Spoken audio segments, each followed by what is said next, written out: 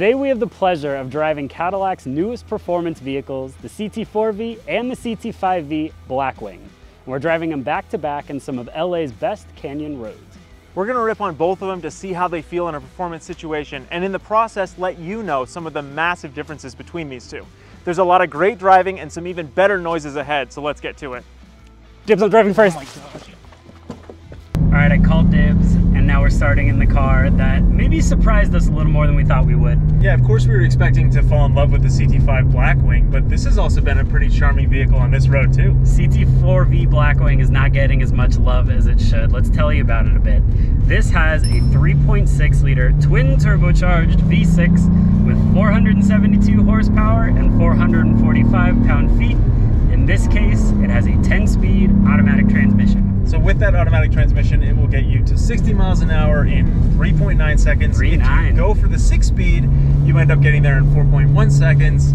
Uh, we might rather go a little bit slower in this case though, right? I think that's our biggest point as we talk about this car on a fun Oh, road like good. this is that the manual, call it slower, call it whatever you want, we think it'd be more fun. Um, there's just something about this 10AT, it just is missing a bit of sharpness. Let me put it in manual mode for just a second here. It's missing a bit of sharpness compared to something like an M3 uh, or an AMG product. The 8-speed ZF and the 9-speed from AMG, just they're a little more cohesive. They're a little quicker. They're a little more decisive. This car is more than willing to play and have a really good time, but you kind of have to be caning on it to get that transmission to cooperate. Yes. You can't just be going, you know, five or six tenths. You really have to be pushing it hard.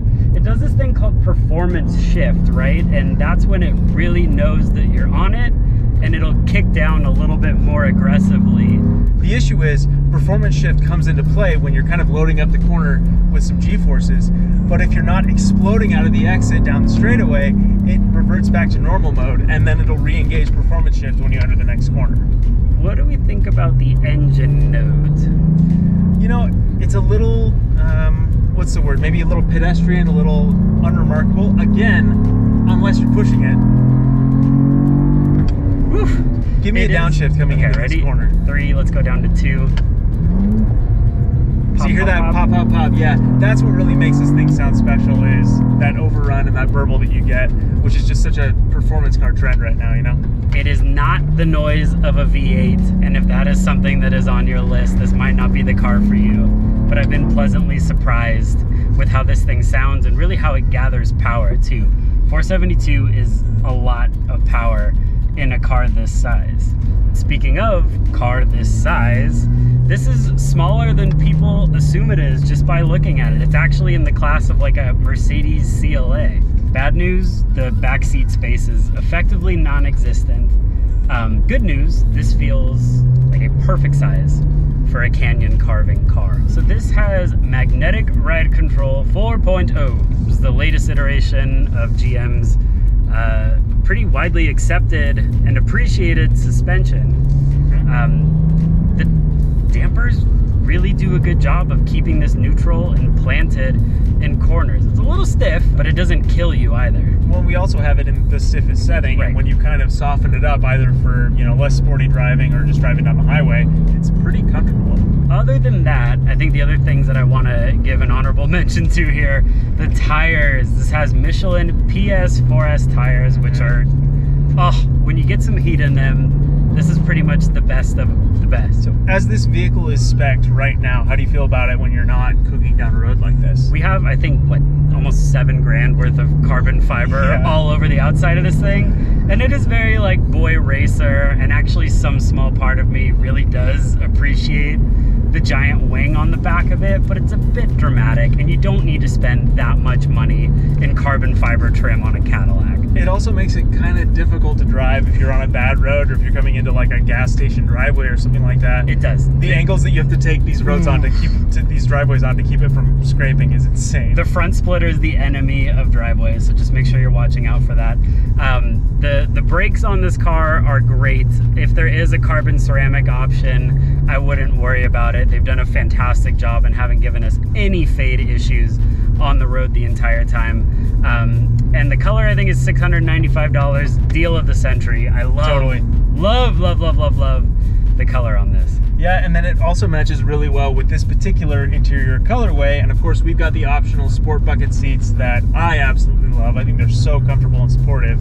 I like when I can squeeze into a sport bucket like this and it doesn't punish you, but at the same time, you still know you're in uh, an aggressive seat option. There is the option to go comfy.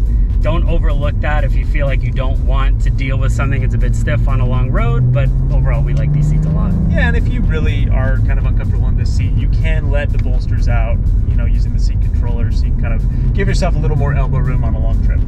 CT4V Blackwing surprised me. I didn't expect to like it this much in a lot of different ways. Yeah, the power is obviously, I mean, it's competitive with everything else in the class. You can kind of just trust it to kind of give you a smooth rush of power and not break traction, and it just feels very approachable and enjoyable on a road like this. I don't really feel nervous cooking this thing down a road. Give us a manual and take away some of the carbon fiber, and I think you have an absolute winner. Yeah. So you had your fun in the CT4, and now it's my turn in the CT5, and this is a ridiculous car. You know what? There was so much hype in this car, and I didn't want to believe it. I'm like, yeah, yeah, yeah, we get it. It's a V8, it's a manual, big deal. I am in love with the CT5V Blackwing.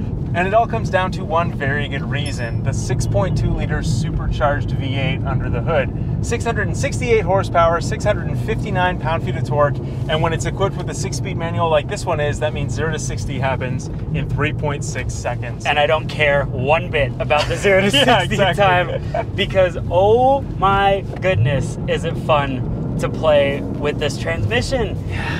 It really just improves the car so much being able to have all that control over the gears. when you have a little straightaway, show the good people what this thing can do because it okay it can hold its own in a tight Here we go.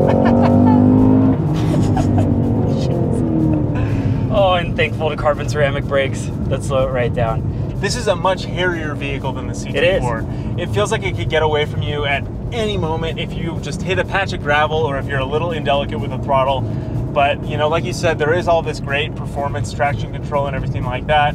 And those carbon ceramic brakes that you mentioned earlier that really do an incredible job of bringing this thing down from.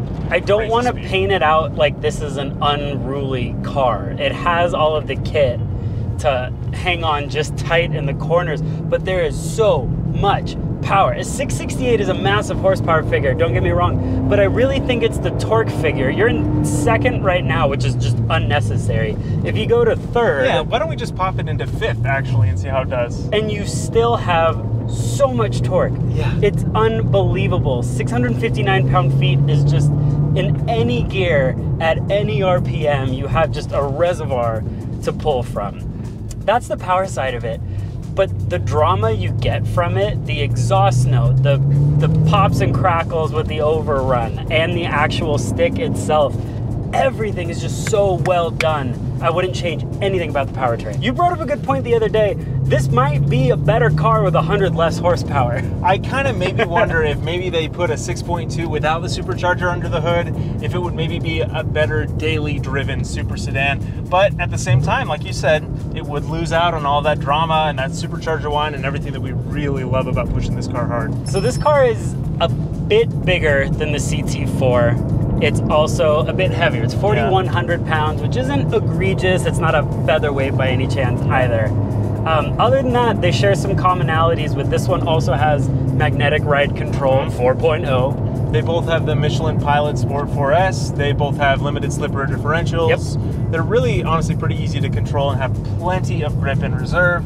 The width and the added wheelbase do make it a little bit harder to place on a narrow road like this, but at the same time, it also gives it a little bit more stability and a smoother ride over some of these high frequency bumps.